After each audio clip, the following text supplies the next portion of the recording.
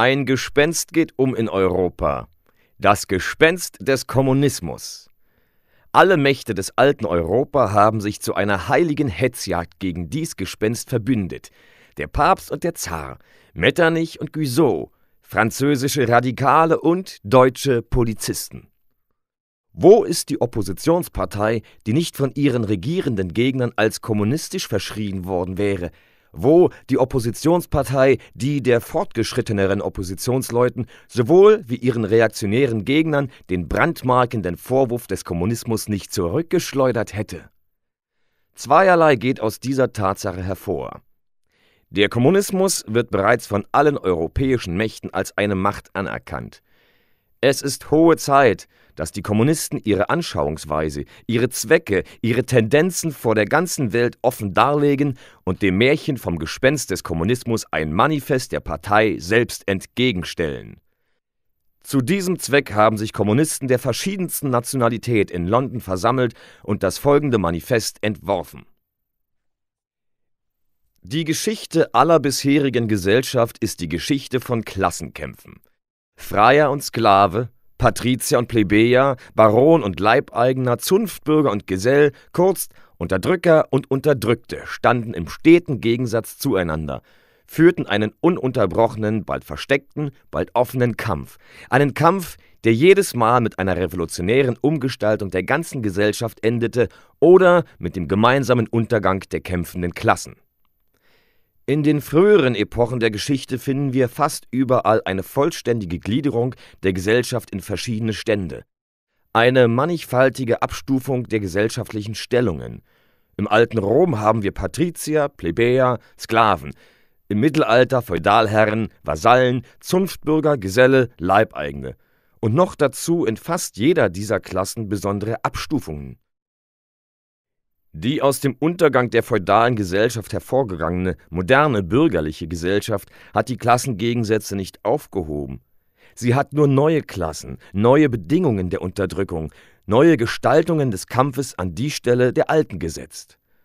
Unsere Epoche, die Epoche der Bourgeoisie, zeichnet sich jedoch dadurch aus, dass sie die Klassengegensätze vereinfacht hat. Die ganze Gesellschaft spaltet sich mehr und mehr in zwei große feindliche Lager, in zwei große, einander direkt gegenüberstehende Klassen, Bourgeoisie und Proletariat. Aus den Leibeigenen des Mittelalters gingen die Pfahlbürger der ersten Städte hervor. Aus dieser Pfahlbürgerschaft entwickelten sich die ersten Elemente der Bourgeoisie. Die Entdeckung Amerikas, die Umschiffung Afrikas schufen der aufkommenden Bourgeoisie ein neues Terrain. Der ostindische und chinesische Markt, die Kolonisierung von Amerika, der Austausch mit den Kolonien, die Vermehrung der Tauschmittel und der Waren überhaupt gaben dem Handel, der Schifffahrt, der Industrie einen nie gekannten Aufschwung und damit dem revolutionären Element in der zerfallenden feudalen Gesellschaft eine rasche Entwicklung. Die bisherige feudale oder zünftige Betriebsweise der Industrie reichte nicht mehr aus für den mit neuen Märkten anwachsenden Bedarf. Die Manufaktur trat an ihre Stelle. Die Zunftmeister wurden verdrängt durch den industriellen Mittelstand. Die Teilung der Arbeit zwischen den verschiedenen Korporationen verschwand vor der Teilung der Arbeit in der einzelnen Werkstatt selbst. Aber immer wuchsen die Märkte, immer stieg der Bedarf. Auch die Manufaktur reichte nicht mehr aus.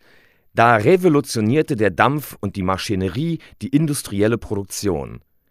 An die Stelle der Manufaktur trat die moderne große Industrie. An die Stelle des industriellen Mittelstandes traten die industriellen Millionäre, die Chefs ganzer industrieller Armeen, die modernen Bourgeois. Die große Industrie hat den Weltmarkt hergestellt, den die Entdeckung Amerikas vorbereitete. Der Weltmarkt hat dem Handel, der Schifffahrt, den Kommunikationen eine unermessliche Entwicklung gegeben. Diese hat wieder auf die Ausdehnung der Industrie zurückgewirkt und in demselben Maße, worin Industrie, Handel, Schifffahrt, Eisenbahn sich ausdehnten, in demselben Maße entwickelte sich die Bourgeoisie, vermehrte sie ihre Kapitalien, drängte sie alle vom Mittelalter her überlieferten Klassen in den Hintergrund. Wir sehen also, wie die moderne Bourgeoisie selbst das Produkt eines langen Entwicklungsganges, einer Reihe von Umwälzungen in der Produktions- und Verkehrsweise ist. Jede dieser Entwicklungsstufen der Bourgeoisie war begleitet von einem entsprechenden politischen Fortschritt. Unterdrückter stand unter der Herrschaft der Feudalherren, bewaffnete und sich selbst verwaltende Assoziationen, in der Kommune, hier unabhängige städtische Republik, dort dritter steuerpflichtiger Stand der Monarchie, dann zur Zeit der Manufaktur Gegengewicht gegen den Adel in der städtischen oder in der absoluten Monarchie. Hauptgrundlage der großen Monarchien überhaupt, erkämpfte sie sich endlich seit der Herstellung der großen Industrie und des Weltmarktes im modernen Repräsentativstaat die ausschließliche politische Herrschaft. Die moderne Staatsgewalt ist nur ein Ausschuss, der die gemeinschaftlichen Geschäfte der ganzen Bourgeoisieklasse verwaltet. Die Bourgeoisie hat in der Geschichte eine höchst revolutionäre Rolle gespielt. Die Bourgeoisie, wo sie zur Herrschaft gekommen, hat alle feudalen, patriarchalischen, idyllischen Verhältnisse zerstört. Sie hat die buntscheckigen Feudalbande, die den Menschen an seinen natürlichen Vorgesetzten knüpften, unbarmherzig zerrissen und kein anderes Band zwischen Mensch und Mensch übrig gelassen als das nackte Interesse, als die gefühllose, bare Zahlung. Sie hat die heiligen Schauer der frommen Schwärmerei, der ritterlichen Begeisterung, der spießbürgerlichen Wehmut in dem eiskalten Wasser egoistischer Berechnung ertränkt. Sie hat die persönliche Würde in den Tauschwert aufgelöst und an die Stelle der zahllosen verbrieften und wohlerworbenen Freiheiten die eine gewissenlose Handelsfreiheit gesetzt. Sie hat mit einem Wort an die Stelle der mit religiösen und politischen Illusionen verhüllten Ausbeutung die offene, unverschämte, direkte, dürre Ausbeutung gesetzt.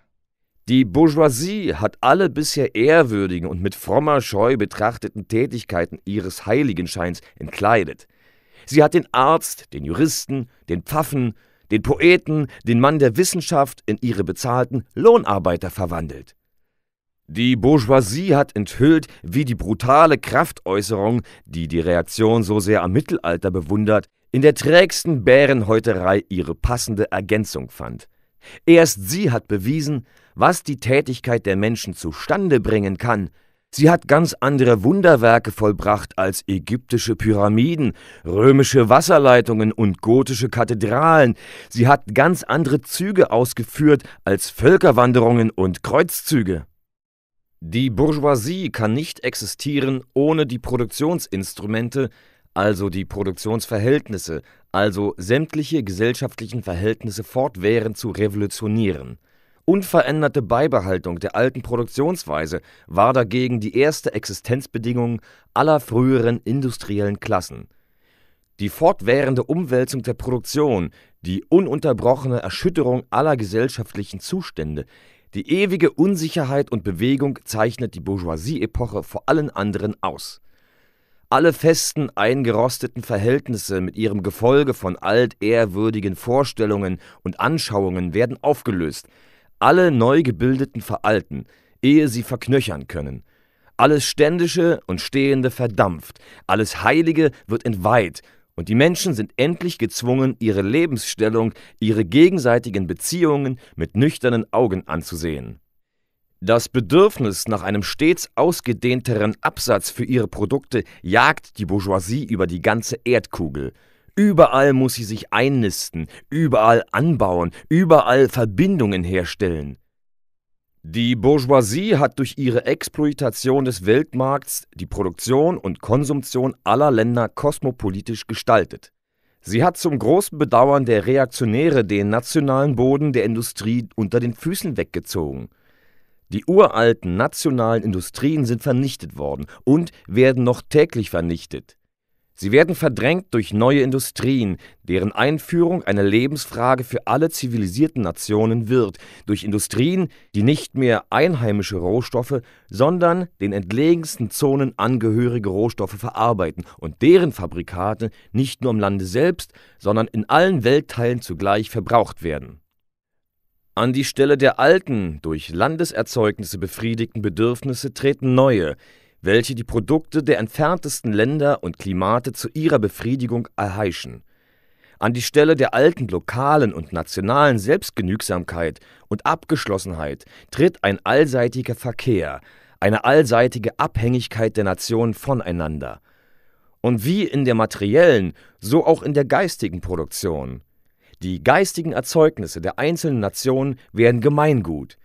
Die nationale Einseitigkeit und Beschränktheit wird mehr und mehr unmöglich, und aus den vielen nationalen und lokalen Literaturen bildet sich eine Weltliteratur. Die Bourgeoisie reist durch die rasche Verbesserung aller Produktionsinstrumente, durch die unendlich erleichterte Kommunikation alle, auch die barbarischsten Nationen, in die Zivilisation. Die wohlfeilen Preise ihrer Waren sind die schwere Artillerie, mit der sie alle chinesischen Mauern in den Grund schießt, mit der sie den hartnäckigsten Fremdenhass der Barbaren zur Kapitulation zwingt.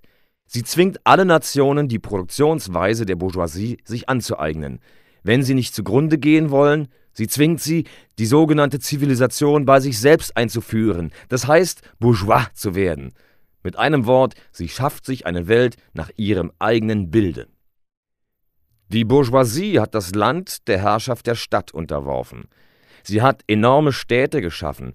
Sie hat die Zahl der städtischen Bevölkerung gegenüber der ländlichen im hohen Grade vermehrt und so einen bedeutenden Teil der Bevölkerung dem Idiotismus des Landlebens entrissen. Wie sie das Land von der Stadt, hat sie die barbarischen und halbbarbarischen Länder von den zivilisierten, die Bauernvölker von den Bourgeoisvölkern, den Orient vom Okzident abhängig gemacht. Die Bourgeoisie hebt mehr und mehr die Zersplitterung der Produktionsmittel, des Besitzes und der Bevölkerung auf. Sie hat die Bevölkerung agglomeriert, die Produktionsmittel zentralisiert und das Eigentum in wenigen Händen konzentriert. Die notwendige Folge hiervon war die politische Zentralisation. Unabhängige, fast nur verbündete Provinzen mit verschiedenen Interessen, Gesetzen, Regierungen und Zöllen wurden zusammengedrängt in eine Nation, eine Regierung, ein Gesetz, ein nationales Klasseninteresse, eine Duanenlinie. Die Bourgeoisie hat in ihrer Klassenherrschaft massenhaftere und kolossalere Produktionskräfte geschaffen als alle vergangenen Generationen zusammen. Unterjochung der Naturkräfte, Maschinerie, Anwendung der Chemie auf Industrie und Ackerbau, Dampfschifffahrt, Eisenbahnen, elektrische Telegraphen, Urbarmachung ganzer Weltteile, Schiffbarmachung der Flüsse, ganze aus dem Boden hervorgestampfte Bevölkerungen, welches frühere Jahrhundert ahnte, dass solche Produktionskräfte im Schoß der gesellschaftlichen Arbeit schlummerten. Die Produktions- und Verkehrsmittel, auf deren Grundlage sich die Bourgeoisie heranbildete, wurden in der feudalen Gesellschaft erzeugt.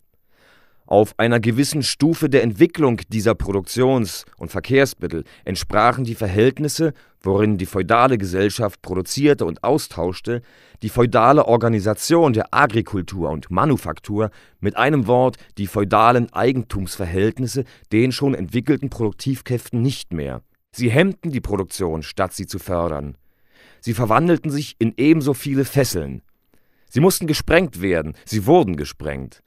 An ihre Stelle trat die freie Konkurrenz mit der ihr angemessenen gesellschaftlichen und politischen Konstitution, mit der ökonomischen und politischen Herrschaft der Bourgeoisklasse. Unter unseren Augen geht eine ähnliche Bewegung vor die bürgerlichen Produktions- und Verkehrsverhältnisse, die bürgerlichen Eigentumsverhältnisse, die moderne bürgerliche Gesellschaft, die so gewaltige Produktions- und Verkehrsmittel hervorgezaubert hat, gleicht dem Hexenmeister, der die unterirdischen Gewalten nicht mehr zu beherrschen vermag, die heraufbeschwor. Seit Dezennien ist die Geschichte der Industrie und des Handels nur die Geschichte der Empörung der modernen Produktivkräfte gegen die modernen Produktionsverhältnisse, gegen die Eigentumsverhältnisse, gegen die Lebensbedingungen der Bourgeoisie und ihrer Herrschaft sind. Es genügt, die Handelskrisen zu nennen, welche in ihrer periodischen Wiederkehr immer drohender die Existenz der ganzen bürgerlichen Gesellschaft in Frage stellen. In den Handelskrisen wird ein großer Teil nicht nur der erzeugten Produkte, sondern der bereits geschaffenen Produktivkräfte regelmäßig vernichtet. In den Krisen bricht eine gesellschaftliche Epidemie aus, welche allen früheren Epochen als ein Widersinn erschienen wäre, die Epidemie der Überproduktion. Die Gesellschaft findet sich plötzlich in einem Zustand momentaner Barbarei zurückversetzt, Eine Hungersnot, ein allgemeiner Vernichtungskrieg schienen ihr alle Lebensmittel abgeschnitten zu haben. Die Industrie, der Handel scheinen vernichtet. Und warum? Weil sie zu viel Zivilisation, zu viel Industrie, zu viel Handel besitzt. Die Produktivkräfte, die ihr zur Verfügung stehen, dienen nicht mehr zur Beförderung der bürgerlichen Eigentumsverhältnisse. Im Gegenteil, sie sind zu gewaltig für diese Verhältnisse geworden. Sie werden von ihnen gehemmt, und sobald sie dieses Hemmnis überwinden, bringen sie die ganze bürgerliche Gesellschaft in Unordnung, gefährden die Existenz des bürgerlichen Eigentums. Die bürgerlichen Verhältnisse sind zu eng geworden, um den von ihnen erzeugten Reichtum zu fassen. Wodurch überwindet die Bourgeoisie die Krisen? Einerseits durch die erzwungene Vernichtung einer Masse von Produktivkräften, andererseits durch die Eroberung neuer Märkte und die gründlichere Ausbeutung alter Märkte. Dass sie allseitigere und gewaltigere Krisen vorbereitet und die Mittel, den Krisen vorzubeugen, vermindert. Die Waffen, womit die Bourgeoisie den Feudalismus zu Boden geschlagen hat, richten sich jetzt gegen die Bourgeoisie selbst. Aber die Bourgeoisie hat nicht nur die Waffen geschmiedet, die ihr den Tod bringen, sie hat auch die Männer gezeugt, die diese Waffen führen werden, die modernen Arbeiter, die Proletarier. In demselben Maße, worin sich die Bourgeoisie das heißt das Kapital, entwickelt, in demselben Maße entwickelt sich das Proletariat, die Klasse der modernen Arbeiter, die nur so lange leben, als sie Arbeit finden, und die nur so lange Arbeit finden, als ihre Arbeit das Kapital vermehrt. Diese Arbeiter, die sich stückweise verkaufen müssen, sind eine Ware wie jeder andere Handelsartikel und daher gleichmäßig allen Wechselfällen der Konkurrenz, allen Schwankungen des Marktes ausgesetzt. Die Arbeit der Proletarier hat durch die Ausdehnung der Maschinerie und die Teilung der Arbeit allen selbstständigen Charakter und damit allen Reiz für die Arbeiter verloren. Er wird ein bloßes Zubehör der Maschine, von dem nur der einfachste, eintönigste, am leichtesten erlernbare Handgriff verlangt wird. Der Preis einer Ware, also auch der Arbeit, ist aber gleich ihren Produktionskosten. In demselben Maße, indem die Widerwärtigkeit der Arbeit wächst, nimmt daher der Lohn ab. Noch mehr, in demselben Maße wie Maschinerie und Teilung der Arbeit zunehmen, in demselben Maße nimmt auch die Masse der Arbeit zu, sei es durch Vermehrung der Arbeitsstunden, sei es durch Vermehrung der in einer gegebenen Zeit geforderten Arbeit, beschleunigten Lauf der Maschinen usw. So die moderne Industrie hat die kleine Werkstube des patriarchalischen Meisters in die große Fabrik des industriellen Kapitalisten verwandelt. Arbeitermassen in der Fabrik zusammengedrängt werden soldatisch organisiert. Sie werden als gemeine Industriesoldaten unter die Aufsicht einer vollständigen Hierarchie von Unteroffizieren und Offizieren gestellt. Sie sind nicht nur Knechte der Bourgeoisie, des Bourgeoisstaates, Sie sind täglich und stündlich geknechtet von der Maschine, von dem Aufseher und vor allem von den einzelnen fabrizierenden Bourgeois selbst. Diese Despotie ist umso kleinlicher, gehässiger, erbitterter, je offener sie den Erwerb als ihren Zweck proklamiert. Je weniger die Handarbeit Geschicklichkeit und Kraftäußerung erheischt, das heißt, je mehr die moderne Industrie sich entwickelt, desto mehr wird die Arbeit der Männer durch die der Weiber verdrängt. Geschlechts- und Altersunterschiede haben keine gesellschaftliche Geltung mehr für die Arbeiterklasse. Es gibt nur noch Arbeitsinstrumente, die je nach Alter und Geschlecht verschiedene Kosten machen. Ist die Ausbeutung des Arbeiters durch den Fabrikanten so weit beendigt, dass er seinen Arbeitslohn bar ausgezahlt erhält, so fallen die anderen Teile der Bourgeoisie über ihn her, der Hausbesitzer, der Krämer, der Pfandleiher und so weiter.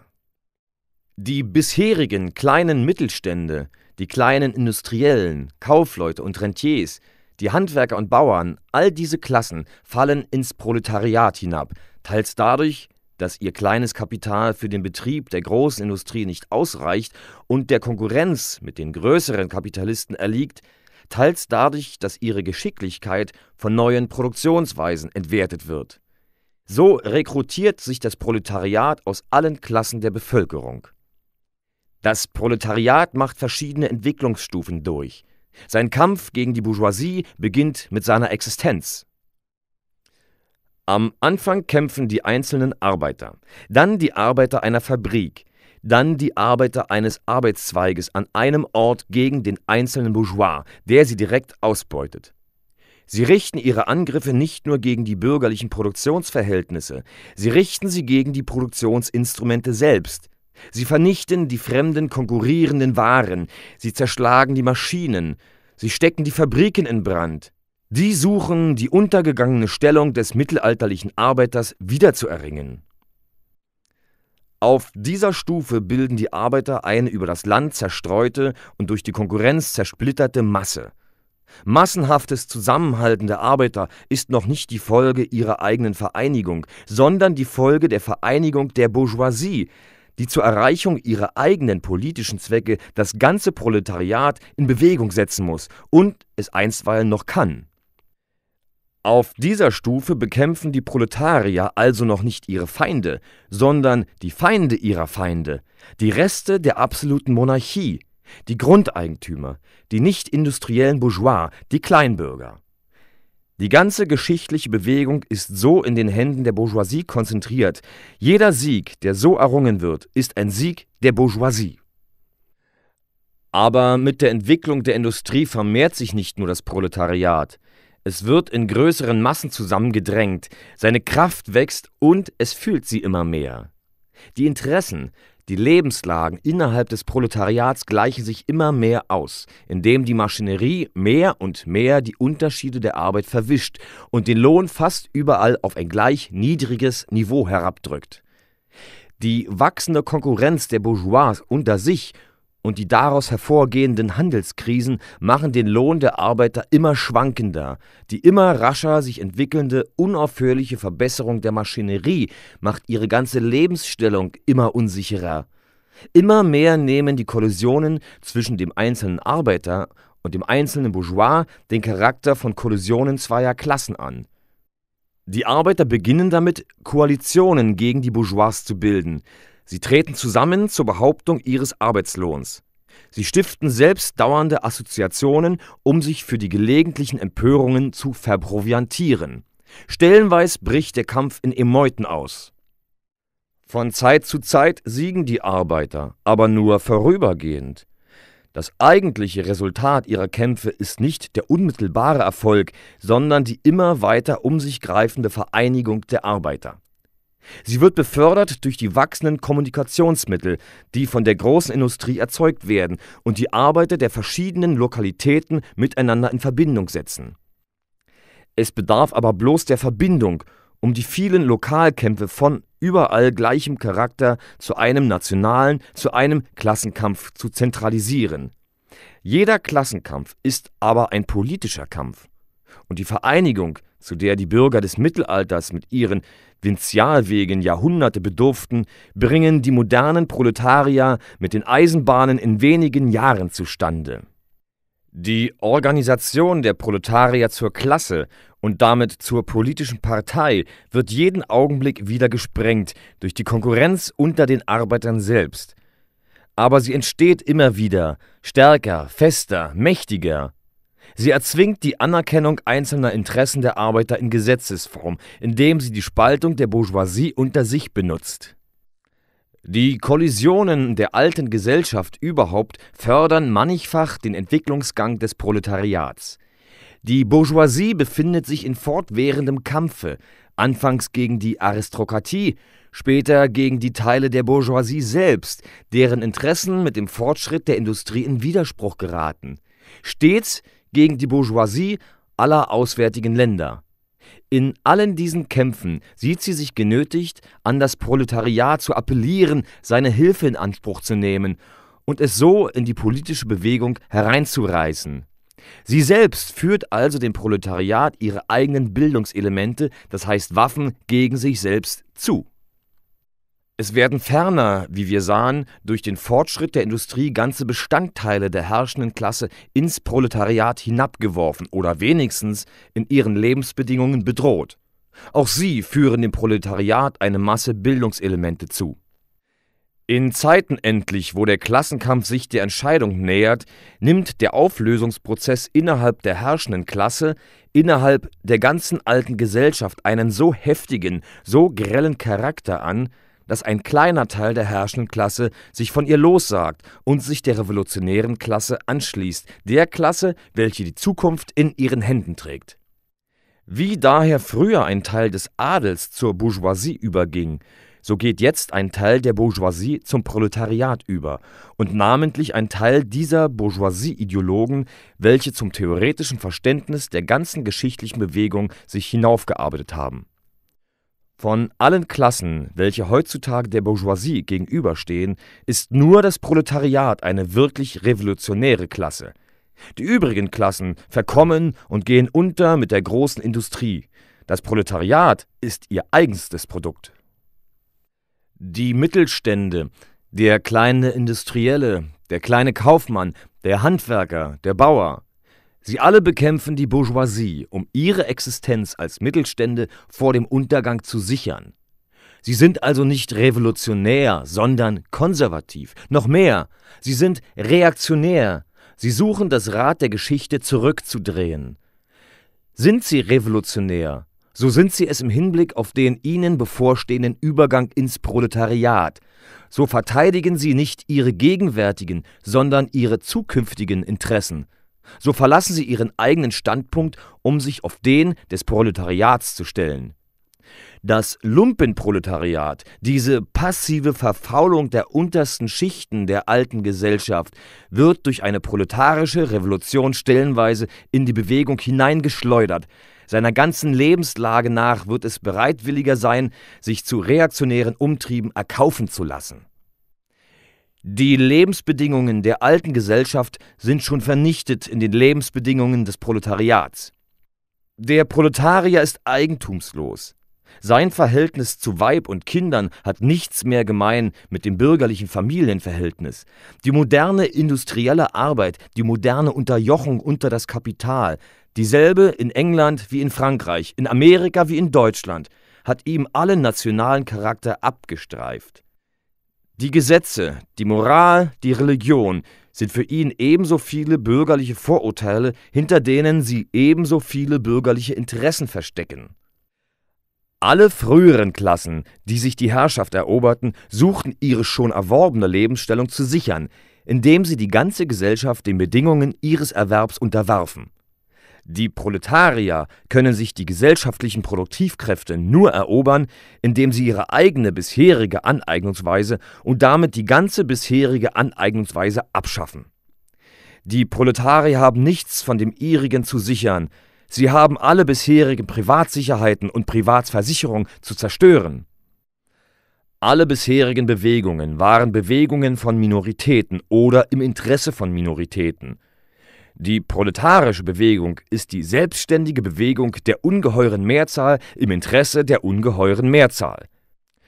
Das Proletariat, die unterste Schicht der jetzigen Gesellschaft, kann sich nicht erheben, nicht aufrichten, ohne dass der ganze Überbau der Schichten, die die offizielle Gesellschaft bilden, in die Luft gesprengt wird. Obgleich nicht im Inhalt ist der Form nach der Kampf des Proletariats gegen die Bourgeoisie zunächst ein nationaler. Das Proletariat eines jeden Landes muss natürlich zuerst mit seiner eigenen Bourgeoisie fertig werden. Indem wir die allgemeinsten Phasen der Entwicklung des Proletariats zeichneten, verfolgten wir den mehr oder minder versteckten Bürgerkrieg innerhalb der bestehenden Gesellschaft bis zu dem Punkt, wo er in eine offene Revolution ausbricht und durch den gewaltsamen Sturz der Bourgeoisie das Proletariat seine Herrschaft begründet. Alle bisherige Gesellschaft beruhte, wie wir gesehen haben, auf dem Gegensatz unterdrückender und unterdrückter Klassen. Um aber eine Klasse unterdrücken zu können, müssen ihr Bedingungen gesichert sein, innerhalb derer sie wenigstens ihre knechtische Existenz fristen kann. Der Leibeigene hat sich zum Mitglied der Kommune in der Leibeigenschaft herangearbeitet, wie der Kleinbürger zum Bourgeois unter dem Joch des feudalistischen Absolutismus. Der moderne Arbeiter dagegen, statt sich mit dem Fortschritt der Industrie zu heben, sinkt immer tiefer unter die Bedingungen seiner eigenen Klasse herab. Der Arbeiter wird zum Pauper Und der Pauperismus entwickelt sich noch schneller als Bevölkerung und Reichtum. Es tritt hiermit offen hervor, dass die Bourgeoisie unfähig ist, noch länger die herrschende Klasse der Gesellschaft zu bleiben und die Lebensbedingungen ihrer Klasse der Gesellschaft als regelndes Gesetz aufzuzwingen. Sie ist unfähig zu herrschen, weil sie unfähig ist, ihrem Sklaven die Existenz selbst innerhalb seiner Sklaverei zu sichern, weil sie gezwungen ist, ihn in eine Lage herabsinken zu lassen, wo sie ihn ernähren muss, statt von ihm ernährt zu werden. Die Gesellschaft kann nicht mehr unter ihr leben, das heißt, ihr Leben ist nicht mehr verträglich mit der Gesellschaft. Die wesentliche Bedingung für die Existenz und für die Herrschaft der Bourgeoisklasse ist die Anhäufung des Reichtums in den Händen von Privaten, die Bildung und Vermehrung des Kapitals. Die Bedingung des Kapitals ist die Lohnarbeit. Die Lohnarbeit beruht ausschließlich auf der Konkurrenz der Arbeiter unter sich. Der Fortschritt der Industrie, dessen willenloser und widerstandsloser Träger die Bourgeoisie ist, setzt an die Stelle der Isolierung der Arbeiter durch die Konkurrenz ihre revolutionäre Vereinigung durch die Assoziation. Mit der Entwicklung der großen Industrie wird also unter den Füßen der Bourgeoisie die Grundlage selbst hinweggezogen, worauf sie produziert und die Produkte sich aneignet. Sie produziert vor allem ihren eigenen Totengräber. Ihr Untergang und der Sieg des Proletariats sind gleich unvermeidlich. In welchem Verhältnis stehen die Kommunisten zu den Proletariern überhaupt? Die Kommunisten sind keine besondere Partei gegenüber den anderen Arbeiterparteien. Sie haben keine von den Interessen des ganzen Proletariats getrennten Interessen. Sie stellen keine besonderen Prinzipien auf, wonach sie die proletarische Bewegung modeln wollen. Die Kommunisten unterscheiden sich von den übrigen proletarischen Parteien nur dadurch, dass sie einerseits in den verschiedenen nationalen Kämpfen der Proletarier die gemeinsam von der Nationalität unabhängigen Interessen des gesamten Proletariats hervorheben und zur Geltung bringen, andererseits dadurch, dass sie in den verschiedensten Entwicklungsstufen, welche der Kampf zwischen Proletariat und Bourgeoisie durchläuft, stets das Interesse der Gesamtbewegung vertreten die Kommunisten sind also praktisch der entschiedenste, immer weiter treibende Teil der Arbeiterparteien aller Länder. Sie haben theoretisch vor der übrigen Masse des Proletariats die Einsicht in die Bedingungen, den Gang und die allgemeinen Resultate der proletarischen Bewegung voraus. Der nächste Zweck der Kommunisten ist derselbe wie der aller übrigen proletarischen Parteien Bildung des Proletariats zur Klasse, Sturz der Bourgeoisherrschaft, Eroberung der politischen Macht durch das Proletariat. Die theoretischen Sätze der Kommunisten beruhen keineswegs auf Ideen, auf Prinzipien, die von diesem oder jenem Weltverbesserer erfunden oder entdeckt sind. Sie sind nur allgemeine Ausdrücke tatsächlicher Verhältnisse eines existierenden Klassenkampfes, der unter unseren Augen vor sich gehenden geschichtlichen Bewegung. Die Abschaffung bisheriger Eigentumsverhältnisse ist nichts den Kommunismus eigentümlich Bezeichnendes. Alle Eigentumsverhältnisse waren einem beständigen geschichtlichen Wandel, einer beständigen geschichtlichen Veränderung unterworfen. Die Französische Revolution zum Beispiel schaffte das Feudaleigentum zugunsten des Bürgerlichen ab was den Kommunismus auszeichnet, ist nicht die Abschaffung des Eigentums überhaupt, sondern die Abschaffung des bürgerlichen Eigentums. Aber das moderne bürgerliche Privateigentum ist der letzte und vollendetste Ausdruck der Erzeugung und Aneignung der Produkte, die auf Klassengegensätzen, auf der Ausbeutung der einen durch die anderen beruht. In diesem Sinn können die Kommunisten ihre Theorie in dem einen Ausdruck, Aufhebung des Privateigentums zusammenfassen. Man hat uns Kommunisten vorgeworfen, wir wollen das persönlich erworbene, selbst erarbeitete Eigentum abschaffen. Das Eigentum, welches die Grundlage aller persönlichen Freiheit, Tätigkeit und Selbstständigkeit bilde. Erarbeitetes, erworbenes, selbstverdientes Eigentum Sprecht ihr von dem kleinbürgerlichen, kleinbäuerlichen Eigentum, welches dem bürgerlichen Eigentum vorherging? Wir brauchen es nicht abzuschaffen. Die Entwicklung der Industrie hat es abgeschafft und schafft es täglich ab. Oder sprecht ihr vom modernen, bürgerlichen Privateigentum? Schafft aber die Lohnarbeit, die Arbeit des Proletariers ihm Eigentum? Keineswegs. Sie schafft das Kapital, das heißt das Eigentum, welches die Lohnarbeit ausbeutet, welches sich nur unter der Bedingung vermehren kann, dass es neue Lohnarbeit erzeugt, um sie von neuem auszubeuten. Das Eigentum in seiner heutigen Gestalt bewegt sich in dem Gegensatz von Kapital und Lohnarbeit. Betrachten wir die beiden Seiten dieses Gegensatzes. Kapitalist sein heißt nicht nur eine rein persönliche, sondern eine gesellschaftliche Stellung in der Produktion einzunehmen. Das Kapital ist ein gemeinschaftliches Produkt und kann nur durch eine gemeinsame Tätigkeit vieler Mitglieder, ja in letzter Instanz nur durch die gemeinsame Tätigkeit aller Mitglieder der Gesellschaft in Bewegung gesetzt werden. Das Kapital ist also keine persönliche, es ist eine gesellschaftliche Macht. Wenn also das Kapital in ein gemeinschaftliches, allen Mitgliedern der Gesellschaft angehöriges Eigentum verwandelt wird, so verwandelt sich nicht persönliches Eigentum in gesellschaftliches. Nur der gesellschaftliche Charakter des Eigentums verwandelt sich. Er verliert seinen Klassencharakter. Kommen wir zur Lohnarbeit. Der Durchschnittspreis der Lohnarbeit ist das Minimum des Arbeitslohnes, das heißt die Summe der Mittel, die notwendig sind, um den Arbeiter als Arbeiter am Leben zu erhalten. Was also der Lohnarbeiter durch seine Tätigkeit sich aneignet, reicht bloß dazu hin, um sein nacktes Leben wieder zu erzeugen. Wir wollen diese persönliche Aneignung der Arbeitsprodukte zur Wiedererzeugung des unmittelbaren Lebens keineswegs abschaffen. Eine Aneignung, die keinen Reinertrag übrig lässt, der Macht über fremde Arbeit geben könnte. Wir wollen nur den elenden Charakter dieser Aneignung aufheben, worin der Arbeiter nur lebt, um das Kapital zu vermehren, nur so weit lebt, wie es das Interesse der herrschenden Klasse erheischt. In der bürgerlichen Gesellschaft ist die lebendige Arbeit nur ein Mittel, die aufgehäufte Arbeit zu vermehren. In der kommunistischen Gesellschaft ist die aufgehäufte Arbeit nur ein Mittel, um den Lebensprozess der Arbeiter zu erweitern, zu bereichern, zu befördern. In der bürgerlichen Gesellschaft herrscht also die Vergangenheit über die Gegenwart, in der kommunistischen die Gegenwart über die Vergangenheit. In der bürgerlichen Gesellschaft ist das Kapital selbstständig und persönlich, während das tätige Individuum unselbstständig und unpersönlich ist. Und die Aufhebung dieses Verhältnisses nennt die Bourgeoisie Aufhebung der Persönlichkeit und Freiheit. Und mit Recht. Es handelt sich allerdings um die Aufhebung der Bourgeoisie-Persönlichkeit, Selbstständigkeit und Freiheit. Unter Freiheit versteht man innerhalb der jetzigen bürgerlichen Produktionsverhältnisse den freien Handel, den freien Kauf und Verkauf. Fällt aber der Schacher, so fällt auch der freie Schacher. Die Redensarten vom freien Schacher wie alle übrigen Freiheitsbravaden unserer Bourgeoisie, haben überhaupt nur einen Sinn gegenüber dem gebundenen Schacher, gegenüber dem geknechteten Bürger des Mittelalters, nicht aber gegenüber der kommunistischen Aufhebung des Schachers, der bürgerlichen Produktionsverhältnisse und der Bourgeoisie selbst.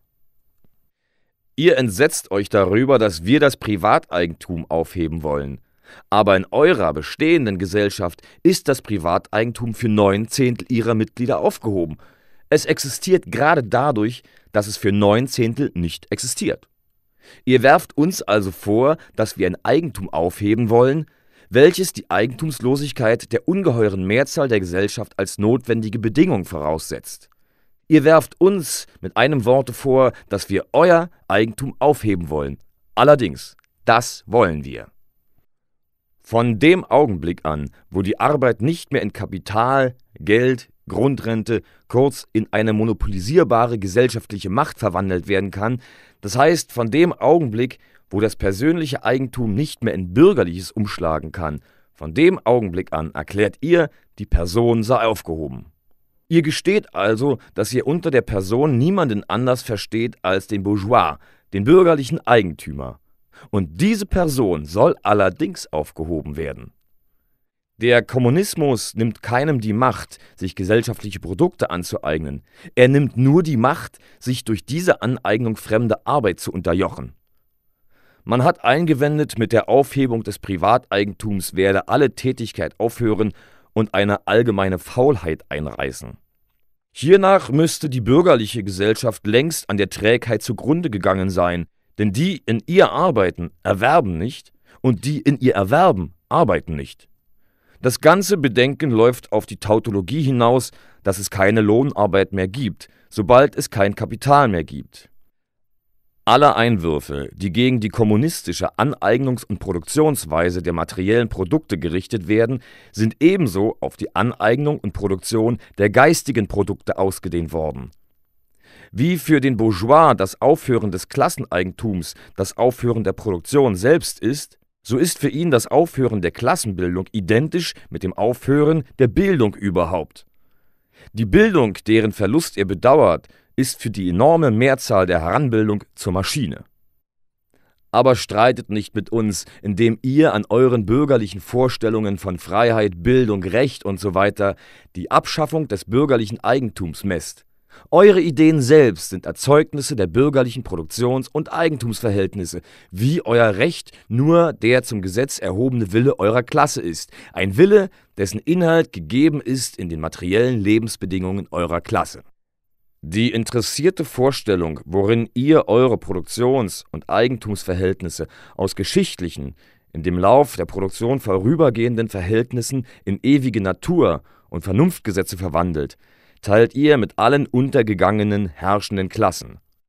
Was ihr für das antike Eigentum begreift, was ihr für das feudale Eigentum begreift, dürft ihr nicht mehr begreifen für das bürgerliche Eigentum. Aufhebung der Familie, selbst die Radikalsten ereifern sich über diese schändliche Absicht der Kommunisten.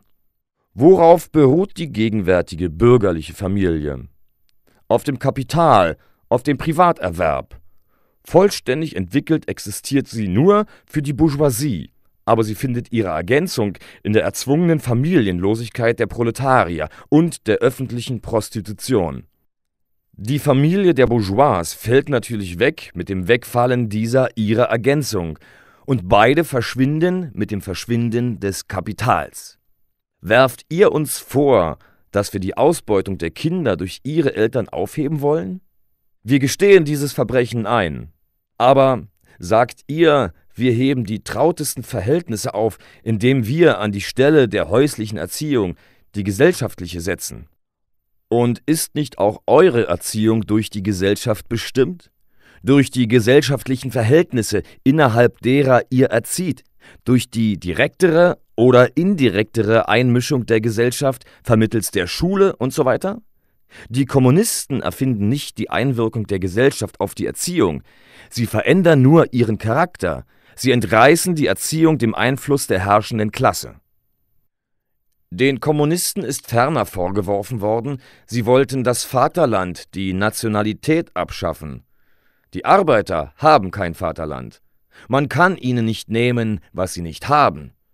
Indem das Proletariat zunächst sich die politische Herrschaft erobern, sich zur nationalen Klasse erheben, sich selbst als Nation konstituieren muss, ist es selbst noch national, wenn auch keineswegs im Sinne der Bourgeoisie. Die nationalen Absonderungen und Gegensätze der Völker verschwinden mehr und mehr schon mit der Entwicklung der Bourgeoisie, mit der Handelsfreiheit, mit dem Weltmarkt, der Gleichförmigkeit der industriellen Produktion und der ihr entsprechenden Lebensverhältnisse. Die Herrschaft des Proletariats wird sie noch mehr verschwinden machen. Vereinigte Aktion, wenigstens der zivilisierten Länder, ist eine der ersten Bedingungen seiner Befreiung. In dem Maße, wie die Exploitation des einen Individuums durch das andere aufgehoben wird, wird die Exploitation einer Nation durch die andere aufgehoben. Mit dem Gegensatz der Klassen im Innern der Nation fällt die feindliche Stellung der Nationen gegeneinander. Was beweist die Geschichte der Ideen anders, als dass die geistige Produktion sich mit der materiellen umgestaltet? Die herrschenden Ideen einer Zeit waren stets nur die Ideen der herrschenden Klasse.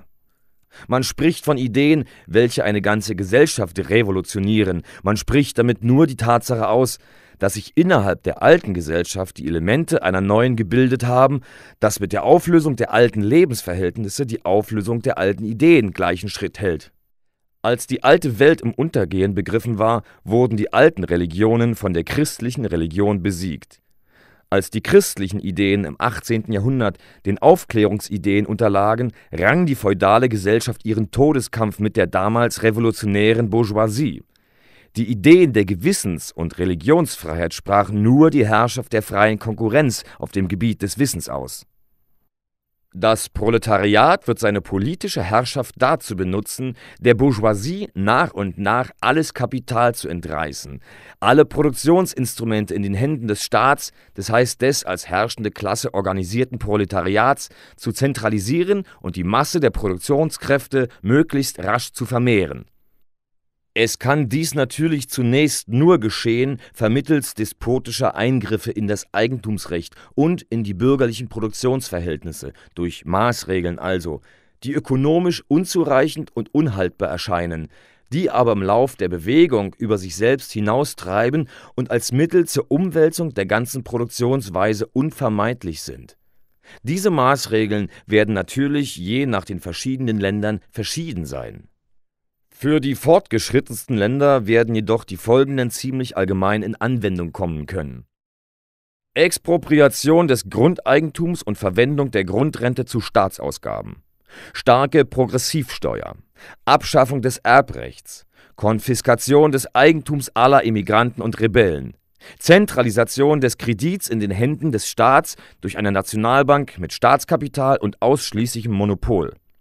Zentralisation des Transportwesens in den Händen des Staats, Vermehrung der Nationalfabriken, Produktionsinstrumente, Urbarmachung und Verbesserung aller Ländereien nach einem gemeinschaftlichen Plan, gleicher Arbeitszwang für alle, Errichtung industrieller Armeen, besonders für den Ackerbau, Vereinigung des Betriebs von Ackerbau und Industrie, Hinwirken auf die allmähliche Beseitigung des Unterschieds von Stadt und Land, öffentliche und unentgeltliche Erziehung aller Kinder, Beseitigung der Fabrikarbeit der Kinder in ihrer heutigen Form, Vereinigung der Erziehung mit der materiellen Produktion und so weiter.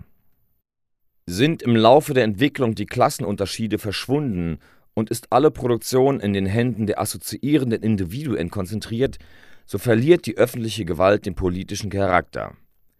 Die politische Gewalt im eigentlichen Sinne ist die organisierte Gewalt einer Klasse zur Unterdrückung einer anderen.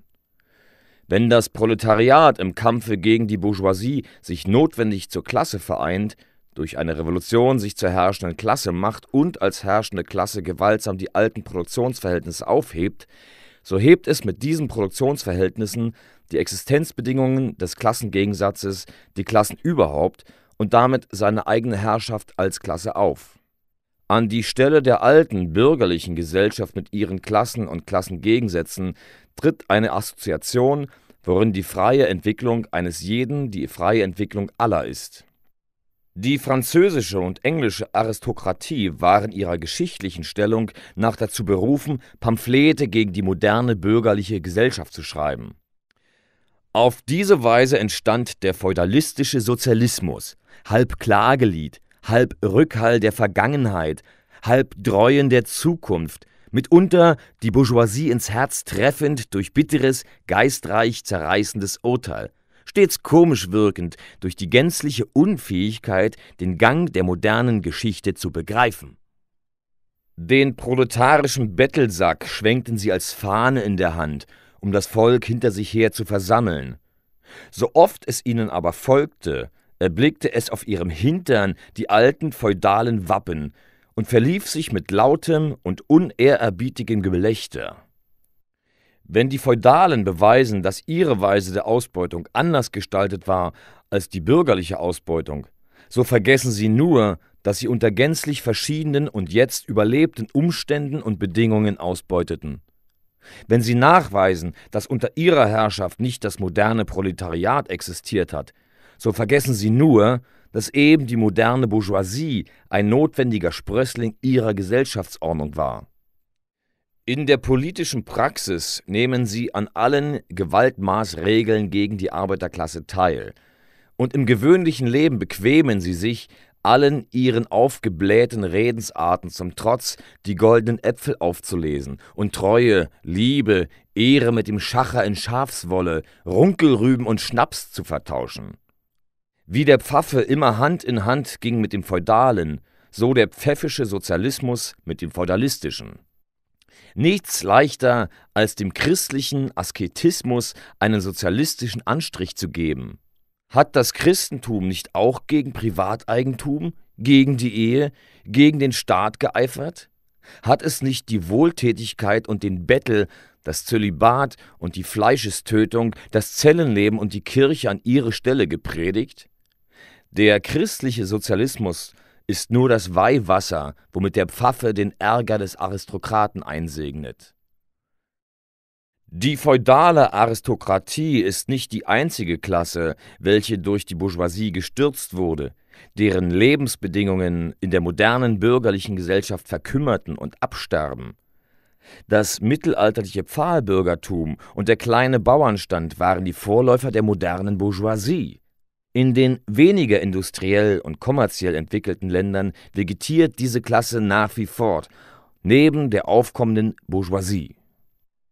In den Ländern, wo sich die moderne Zivilisation entwickelt hat, hat sich eine neue Kleinbürgerschaft gebildet, die zwischen dem Proletariat und der Bourgeoisie schwebt und als ergänzender Teil der bürgerlichen Gesellschaft stets von neuem sich bildet, deren Mitglieder aber beständig durch die Konkurrenz ins Proletariat hinabgeschleudert werden, ja selbst mit der Entwicklung der großen Industrie einen Zeitpunkt herannahen sehen, wo sie als selbstständiger Teil der modernen Gesellschaft gänzlich verschwinden und im Handel, in der Manufaktur, in der Agrikultur durch Arbeitsaufseher und Domestiken ersetzt werden dieser kleinbürgerliche Sozialismus zergliederte höchst scharfsinnig die Widersprüche in den modernen Produktionsverhältnissen.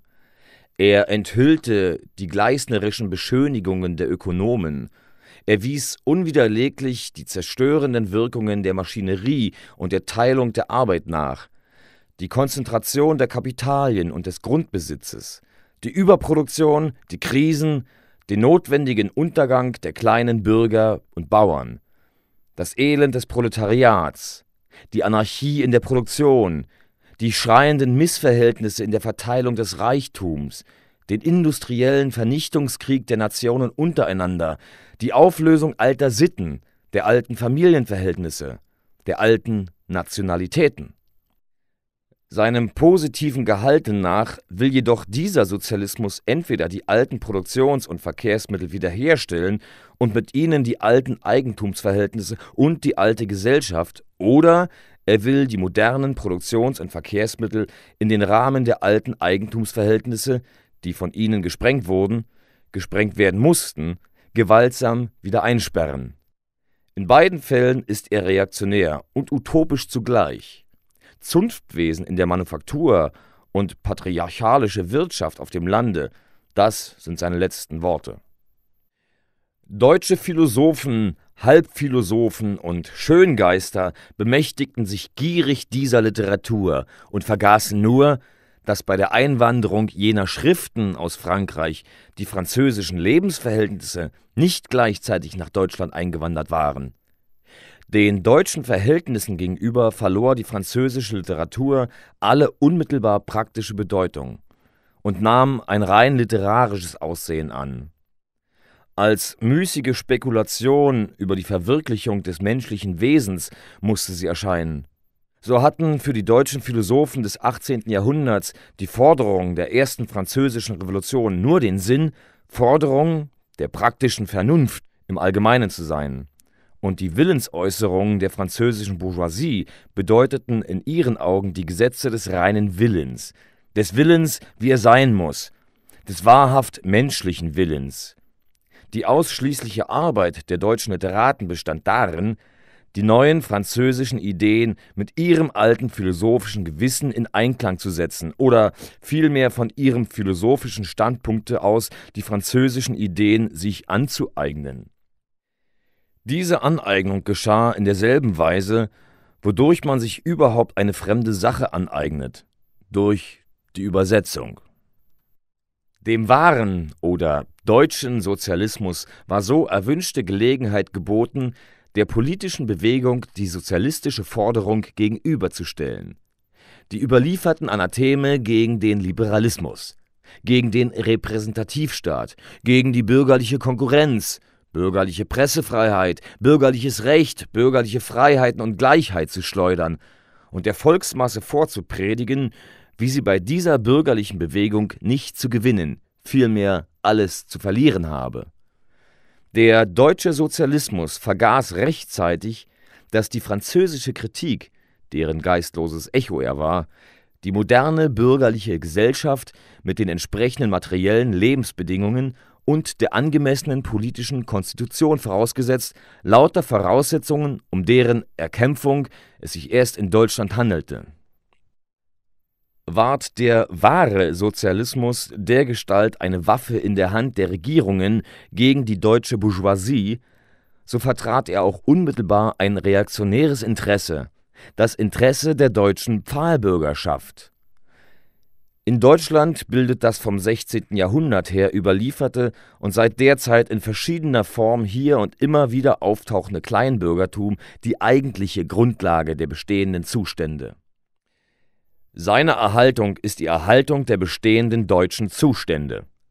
Von der industriellen und politischen Herrschaft der Bourgeoisie fürchtet es den sichern Untergang Einerseits infolge der Konzentration des Kapitals, andererseits durch das Aufkommen eines revolutionären Proletariats.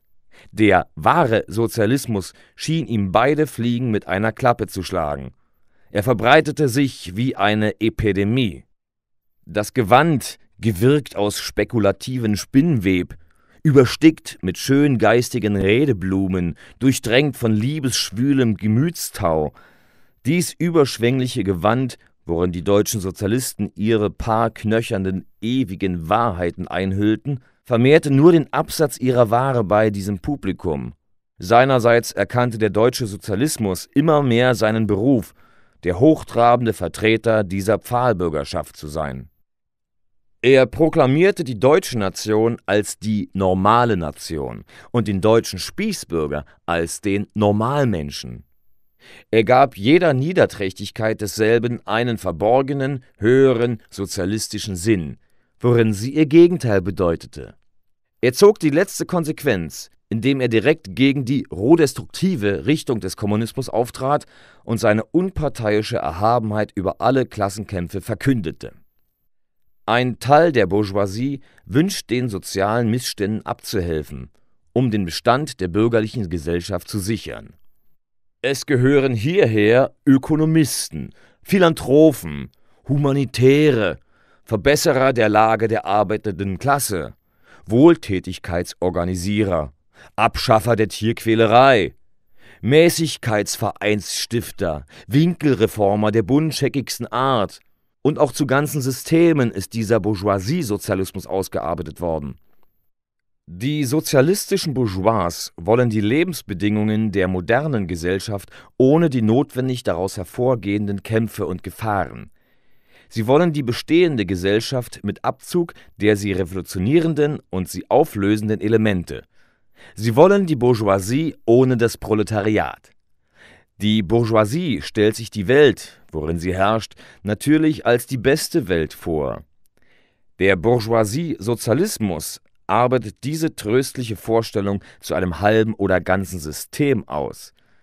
Wenn er das Proletariat auffordert, seine Systeme zu verwirklichen und in das neue Jerusalem einzugehen, so verlangt er im Grunde nur, dass es in der jetzigen Gesellschaft stehen bleibe, aber seine gehässigen Vorstellungen von derselben abstreife. Eine zweite, weniger systematische, nur mehr praktische Form dieses Sozialismus suchte der Arbeiterklasse jede revolutionäre Bewegung zu verleiden, durch den Nachweis, wie nicht diese oder jene politische Veränderung, sondern nur eine Veränderung der materiellen Lebensverhältnisse, der ökonomischen Verhältnisse ihr von Nutzen sein könne unter Veränderung der materiellen Lebensverhältnisse versteht dieser Sozialismus aber keineswegs die Abschaffung der bürgerlichen Produktionsverhältnisse, die nur auf dem revolutionären Wege möglich ist, sondern administrative Verbesserungen, die auf dem Boden dieser Produktionsverhältnisse vor sich gehen, also an dem Verhältnis von Kapital und Lohnarbeit nichts ändern, sondern im besten Fall der Bourgeoisie die Kosten ihrer Herrschaft vermindern und ihren Staatshaushalt vereinfachen. Da die Entwicklung des Klassengegensatzes gleichen Schritt hält mit der Entwicklung der Industrie, finden sie ebenso wenig die materiellen Bedingungen zur Befreiung des Proletariats vor und suchen nach einer sozialen Wissenschaft, nach sozialen Gesetzen, um diese Bedingungen zu schaffen. An die Stelle der gesellschaftlichen Tätigkeit muss ihre persönlich erfinderische Tätigkeit treten, an die Stelle der geschichtlichen Bedingungen der Befreiung fantastische, an die Stelle der allmählich vor sich gehenden Organisation des Proletariats zur Klasse eine eigens ausgeheckte Organisation der Gesellschaft.